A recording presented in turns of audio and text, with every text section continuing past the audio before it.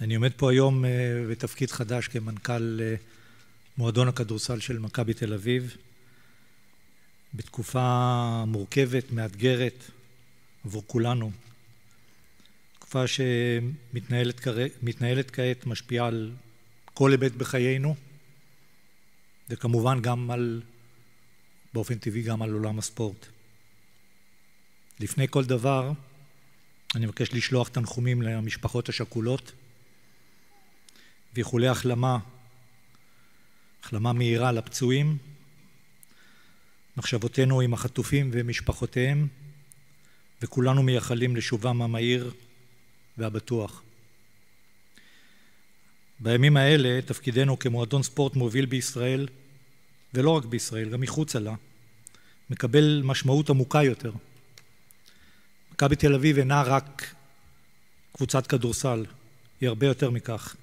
היא סמל לאומי, מקור לגאווה ובוודאי ובוודאי נקודת אור בתקופה כה חשוכה. החזון שלנו למועדון בתקופה הזו מתמקד במספר היבטים. שמירה על שגרה, ככל שהמצב יאפשר, נשאף לקיים את פעילות הקבוצה כסדרה, וזאת מתוך הבנה שהשמירה על שגרה היא חלק חיוני, חיוני מאוד אפילו, בחוסן הלאומי.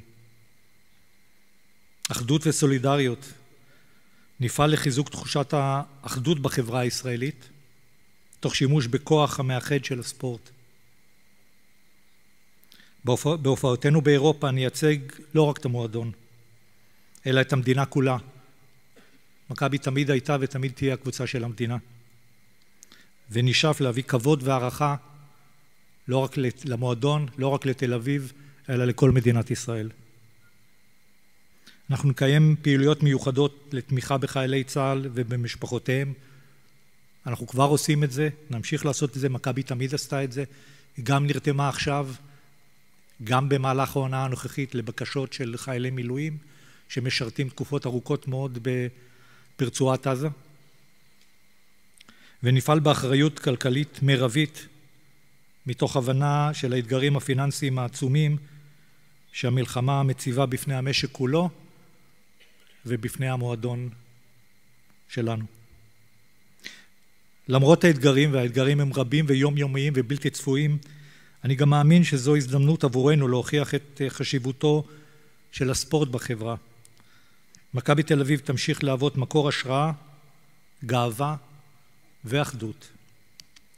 אנו ניצבים בפני תקופה מאתגרת, אך אני משוכנע שבכוחות משותפים, שחקנים, צוות מקצועי, הנהלה וכמובן אוהדים, נצליח לא רק לשרוד את התקופה הזו, אלא גם לצמוח ממנה הרבה יותר חזקים.